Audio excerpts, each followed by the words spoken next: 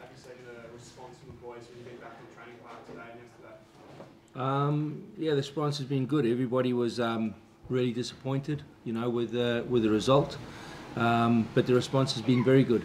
You know, they they're an, they are really honest group, one of the most honest groups I've ever worked with. So there's nothing dodged or, or you know nothing brushed under. This is where we went wrong. This is what we need to fix, and then we've gone about doing that over the last two days. Takes into those reviews is it players putting their hands up sort of for accountability sort of mistakes? Is it just a common theme that's come out? But what's you do? What are those lessons you try and take into this week turn around? Um, I think it's whatever feeds forward. So if there's nothing that feeds forward, then you, we got to just move past that. And nothing gets brushed under, but everything's got to feed forward into Wales.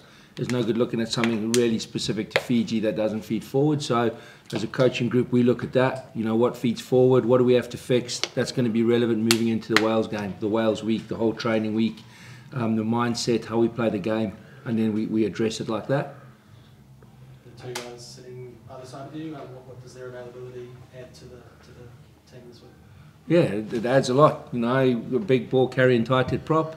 Um, and somebody who's captain a team, you know, a really important player, both really important players for us. So, yeah, to get people coming back into the mix is, is always fantastic. It creates more competition in the team. Um, but, you know, Tate's become a really influential player. And I think you saw the first 40 minutes down in Dunedin, you know, just how important Pone's become for us. So, yeah, it's great to have them both back. We're thrilled about it. You're 100% on A, you're good to go. Just uh, take, yeah, take us through how you've gone with your, your situation. Yeah, body's feeling really good, mate. Obviously, um, slow start to the campaign, but uh, ready to go in this week and um, rip in. So. Pone, can you, uh, can you just explain when you did the injury and, and what actually occurred? Um, yeah, so first session when we landed in Paris, we actually first session in Paris I done my calf, so um, just lucky enough it wasn't a long-term injury. Um, uh, been able to bounce back early, so I'm uh, really looking forward to come back. Did you feel like your World Cup dream might be over before it started? Sorry? Did you feel like your World Cup might have been over before it started? Man, I had um, you know good people around me, physio medical team, so I was um, you know their advice was uh, real positive when it first happened, and I was just keen to rip into my rehab and come back. So. And, and Neil, you mentioned that 40 minutes in Dunedin. Is that the is that like the blueprint of what you guys are looking to achieve and get back to? Because you know you look like well beaters then, but that's kind of been it, hasn't it? Uh, no. No, it hasn't been it. There's been a lot more moments than that. You know, I thought the moments against Georgia, the first 27, 30 minutes against Georgia, um, you know, periods against France, who, who looked like a very, very good team. So, no, I don't think there's that for just that 40 minute block. There's a lot more to it than that. We've just got to make sure we're more consistent than delivering 40 minute you know 40 minute periods we've got to do that for longer even you know if you look at the last 20 25 minutes against Fiji you know we've we've given away a few breakdown penalties but we're, we're down there pounding in the 22 and we weren't clinical enough so yeah I, I don't think it's fair to say that that's probably the only 40 minutes I think there's been more to it than that Neil, who's in charge of the breakdown and working on that? Uh, the whole coaching group. There's like not one person associated to that, like the, the coaching group. So Pierre Broncan, myself, Palms, Eddie, we all have input into that. And, you know, when we split forwards, backs. So yeah, everybody has a has a coaching input into that or responsibility into that. It's not you know one person. I'm responsible for scrum, Palms for liner, but when we come to play like that, you know everyone's got to make sure one person can't watch everything. So that's a shared responsibility. Were you concerned by that one on the weekend? Uh, the breakdown.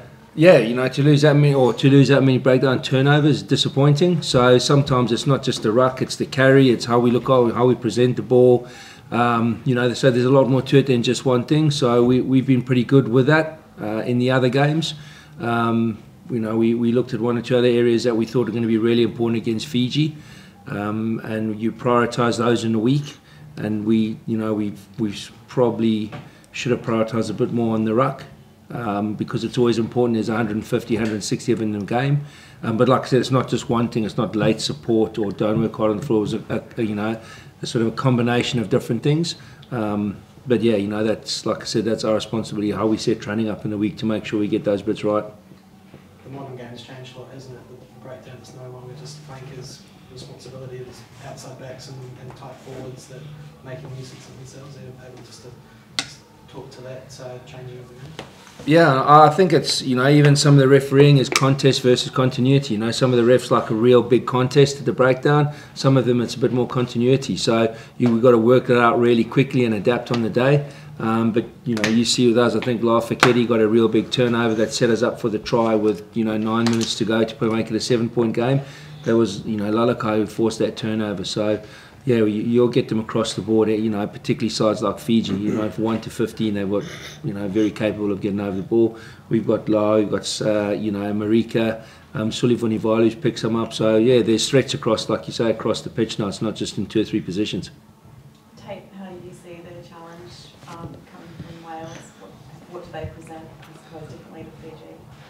Uh, yeah, I I guess they're just going to come with their physicality. Um, they play a, a different brand of Fiji, obviously, and um, you know under under Gatland they've been playing a, a good brand as well. So they'll kick the ball a lot, they'll keep the ball in, um, but they'll definitely go to breakdown. Um, considering how it went on the weekend, there's there's no questions about that. They're going to come hard there. They've got good back rowers that will put pressure there. Um, so for us, we've just got to we've got to move the point of attack. Really, um, we've got to win that physicality and that mindset battle at the breakdown in order to do that. Think the way Fiji played on the weekend almost prepare you for Wales because they played an un-Fiji style. It was very pragmatic. They took, they kicked four or five penalties. They did attack you at the breakdown, but weren't quite as flary and as expansive as we normally see from Fiji. So in a way, has it kind of prepared you for what you're likely to see from Wales? Yeah, definitely. I think you look at uh, the similarities between them, Fiji's mentality at the start of the game to take those threes. Dan Biggar is going to do the exact same thing with Wales. Um, so all that is, is is we've got to win the physicality. If we don't do that, we're on the back foot. Then we invite those those opportunities for them to, to build that scoreboard pressure. Um, so that started yesterday. Uh, we addressed that. There's more to that than just missing a few breakdowns or being late to that. Uh, we've got to make sure it's up here that we're, that we're there from the start of the game against Wales. Otherwise, we're, we're, we're chasing that, our tails really. There's a bit of a trend with some teams at the moment that you get to three or four phases, and if you're not really making those yards, you're going to kick the ball away. There's a few kicks on the weekend. I understand you weren't playing sort of in around that attacking 22. Was that a result of that kind of strategy, or just decisions in that moment? Uh, I'd say, mate, it's got to be a decision from, from the individual. Uh, we, we definitely don't want to play footy in our own half, and that's that's generally every team. Um, you know, albeit the Kiwis probably. So for us, uh, we've got to be a lot smarter with those kicks um, because against a team like Wales, all you do is you give them possession.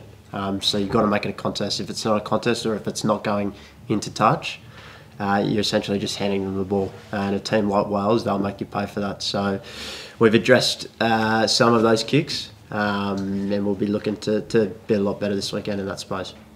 I assume you're captain this week. Um, I'm not not quite sure. So uh, we'll, we'll see how we go there. A bit weird to not know in this, like you were vice captain before game one? Is, that not a bit weird to not know on a Wednesday? Uh, no, we, we've got a strong leadership group, so anyone in that group is capable of taking that role. Uh, you saw Dave Porecki take a, take over um, throughout it, and, and I missed that game. So um, mate, we'll just have to see.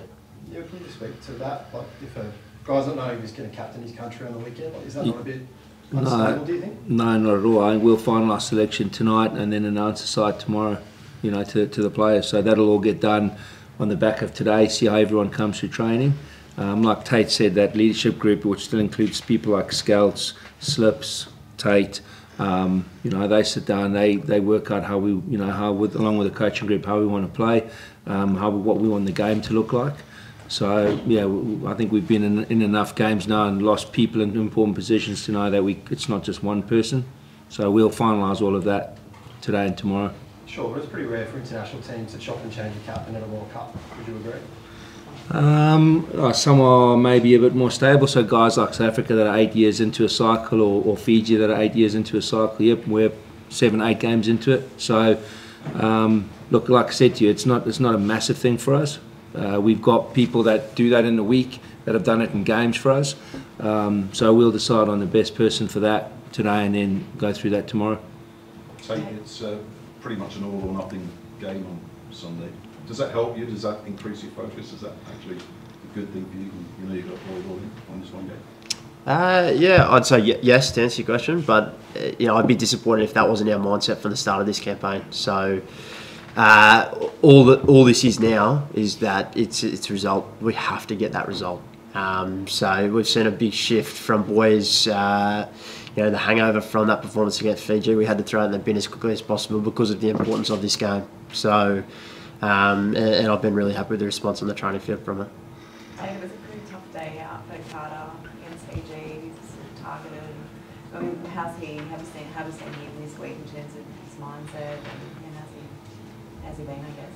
Yeah, he's been good. Uh, I, I just want to make it really clear it wasn't just Carter who had a tough day out there. Um, there was definitely other people in the same boat, um, and particularly being in a position where I'm a halfback, he's a fly half. If if we're losing that battle at the breakdown, uh, it's, it's, it's a very tough day, regardless. So uh, he's been good though. He- He's really resilient. Um, I'm, re- I'm really close with him. Um, he's incredibly disappointed, of, of course, um, and the whole, the whole squad is because of uh, that performance. But uh, you've got to have a short memory, particularly given how important you know, his preparation will be into this next game. Eddie was saying the other day that um, you're all grown up, so he wouldn't tell you not to go on social media, and that people can make their own decisions. Which way do you lean? Do you like take it all on board, read all the anger stuff and motivate you, or do you block it out?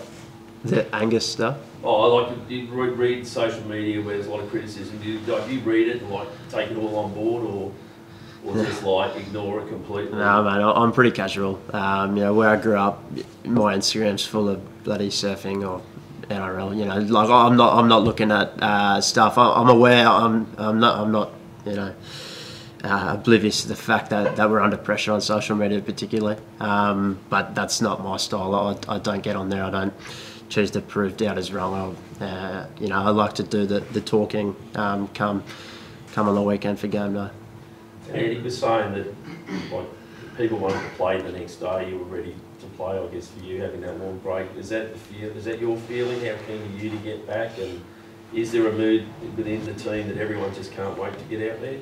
Yeah, hundred percent, and we saw that at training today. Um, you know, once we got into the grind of it, uh, training, whenever the, the ball gets in the boys' hands, they're ready to go again. So that's what that's what I really like about this group. Um, after the game, it was it was so quiet in the change room because we knew exactly, uh, you know, the situation we put ourselves in. We were incredibly disappointed, but um, you know, what we've seen is is the next man. Whoever steps in this week, they have to do a job. It's it's as simple as that. On that 40 minutes that you did, like, what's the performance uh, in Dunedin? Um, I guess, you know, how do you reflect on that? Is that sort of you felt like you, I don't know, get, got to where you want to be, I suppose, as a player? And, you know, how's Eddie been in terms of uh, accelerating your um, development? Yeah, obviously that performance was, as, as a collective, we probably one of our best 40 minutes. And um, yeah, we had a great week that week, and um, there's no reason why we can do that here. But um, yeah, um, Eddie's obviously been massive to me as well. Um, you know, as long as as every other coach. Um, yeah, Eddie's probably just away from the field, probably been stuck into me um, through through my mindset, and uh, really helped develop that. Um, to I, I guess going into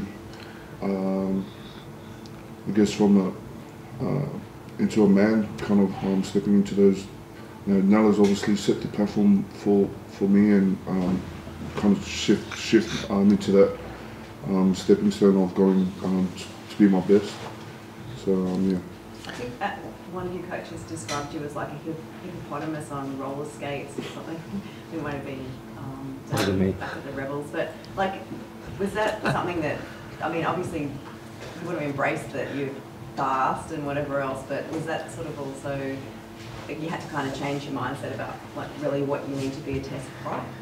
Yeah, obviously being a test prop, you got to nail your role, um, which is my set piece, and um, you know, obviously I'm still new to this game. Um, I'm only, I guess I'm six years into being professional, and um, you know, I come from a league background, and, and scrummaging is not easy. So it's coming from league where um, you know they, just pack down, you know, not really fought, um, no technical technical side to it, to come in here and you know, really picking up the um, being a tight head. Um, yeah, it, it wasn't easy, and I'm still learning, and I'm real open to you know.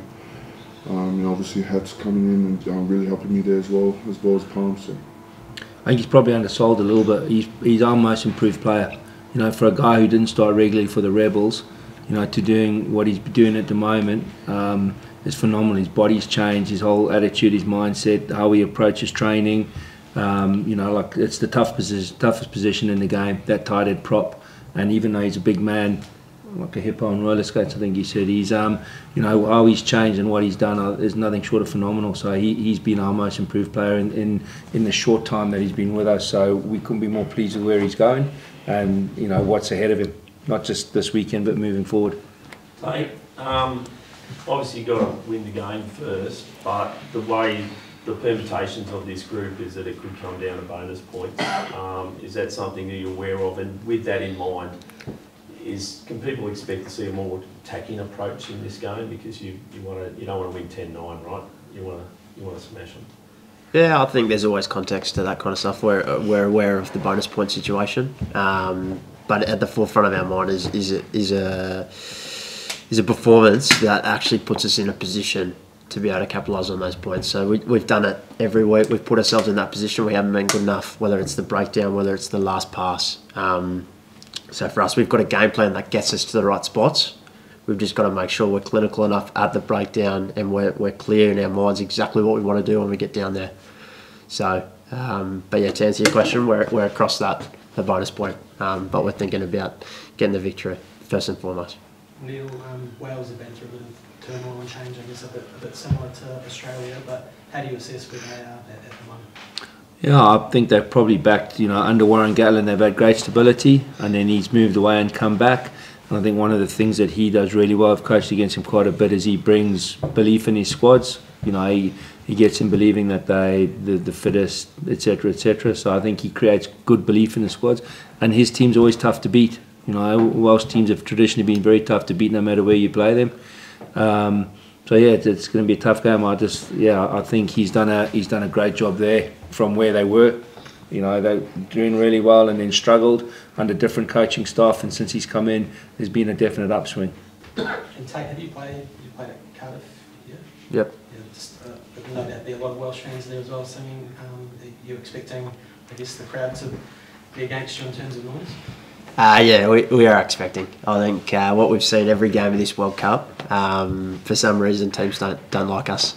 Um, you know, so they're, they're singing the Fijian songs. Um, no doubt they'll be singing the, the Wales songs this weekend. Um, but but we're across that. We're embracing that. Uh, we don't mind that at all. Appeal to the French neutrals to, to get on board the Aussies? Yeah, I might if they want. And Neil, there, there has been a lot of moving parts this year, um, from captaincies to um, you know, rotation of teams, to coaching structure. Do you think that's helped or hindered this side? Um, uh, maybe a little bit of both. You know, anything that's new is not easy, um, but I think fresh ideas are always important. You know, you, you can get caught in a rut over a three, four, five, six, seven year period where it's the same people, same voices. Um, but I do appreciate that, you know, particularly in the short amount of time that we had, um, that what's new is not easy. But that's that's not a reason where we are where we are. Um, like I said to you, the, the, the players have been brilliant, uh, absolutely brilliant in terms of um, getting on board and trying to do what we're trying to do. So, you know, we've just got to make it work. Do you guys subscribe to to, to Benny Darwin's cohesion kind of theory around that sort of stuff, or is that out the window with this campaign?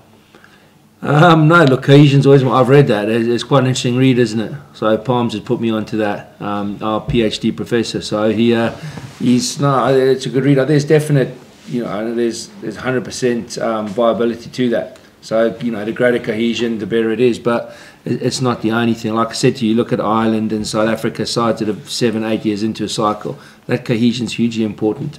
Um, we're not, so it becomes irrelevant. We've got to find another way. Um, we know we're not going to sit here and go, oh, we, it's not cohesive. We haven't had enough time. The time is the time. It is what it is. Five months, six months, whatever it is. We got to get on with it and, and make the you know make the most of it.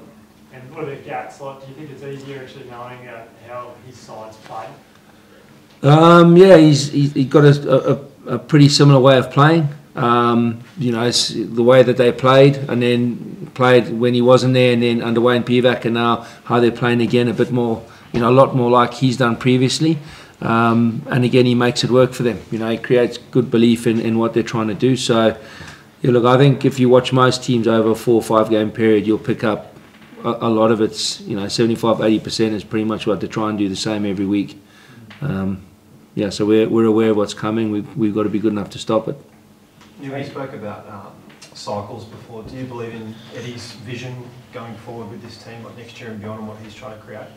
Yeah, I think so. I, I do. You know, I, I saw it with, uh, you know, the, the, team that we worked with previously together um, on a line series. You know, we took guys like young players, 18 year olds. We took four, five, 18 year olds, 19 year olds, and those guys are all 40 cap internationals now. You know, played in World Cup finals. So, yeah, I think so. You know, we've had a look at. Uh, Eddie's had a, a, much closer look at where he believes Australian rugby is and, and what it needs to move forward. Um, so yeah, I've got a, a, huge amount of faith in, in the plan that he puts out. Tate, you mentioned um, the players, the need to shake it off you know, immediately. How did the players in particular do that? Did you come together as a group away from the coaches? Do anything off the pitch? Were there any particularly hard conversations to have? Uh, yeah, we did a bit of both to answer your question. Um, yeah, the leadership group took the boys aside uh, and we, we, had a couple of honest admissions um, around, you know, boys putting their hand up and admitting that, that, that's not what we stand for. That's just not good enough, particularly at this part of the tournament. Um, so, like Hats was alluding to at the start, the, the honesty in the group was, was, was awesome to see. Um, because yeah, it, it, was a tough watch. Let's let's not. We had we had to call that out. We, we had to put everything on the table um, so that we, we don't fall into the same trap. Um, and then yeah, Eddie's been really good at driving the mindset part as well um, with, with, all the coaching staff. So we've got a real clear plan of, of how we want to go into this game this weekend. Um, and straight away we, we, we had to, to bring everything we're feeding forward and put and put that in place. Was that on Sunday or Monday? Oh, sorry, Monday or Tuesday. Ah, what's the day today? Monday, right? Yeah, yeah, Monday, Monday. Yeah, yeah. So straight off the game. Neil, um, on the all or nothing theme again for Sunday, is, do you get a sense from Eddie that he's sharper this week, that his, his focus is sharper? Can you tell that he's more on it than ever? Um, and if so, how do you tell? Uh, yeah, look, I have to be honest, I worked with him for five years. He's sharp every day. Um, you know, and not just that's not blowing smoke up his backside. He's just that sort of individual. He leaves you know, no stone unturned. My first message came through at about half past four this morning. Um, and that's how he works. You know, he, has got a great belief in, in preparation and leaving no stone unturned, and that's starting to reflect through the group. So yeah, look, he's. I think as a coach, you, you I'd rather not be in a position, but you like these weeks. You know, these are the weeks that you coach for, um, where it is basically you're playing for all the marbles. Um, so I'd love to be in a position where we've won 10 from 10 and we're already qualified and everything. That's great. That's brilliant. But these are great coaching weeks, and I think they're great playing weeks. You know, I've seen a real response from from the two lads up here and from the rest of the group. You know, they understand what's on the game, um, and you know, nobody's shying away from it. We're, we're getting into it, so we know what we're playing for, and they're great weeks to be involved in. You know, this is sport at the highest level in the biggest tournament that comes around every four years. Um, so it's a great week to be involved in do you get a bit of confidence having beaten the Welsh last year, that slightly different team? Do you, do you take some of that confidence?